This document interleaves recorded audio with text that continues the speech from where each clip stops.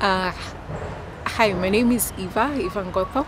I joined School of the Bible in the year 2021 and uh, now graduating 2023. Um, I did, um, I decided to join uh, School of the Bible and to learn about how to study God's Word and also uh, how to apply it in my day to day, whether in church and also in the marketplace. Um, I'd like to encourage uh, everyone who hasn't uh, joined School of the Bible to do so. Reason being, there's so much to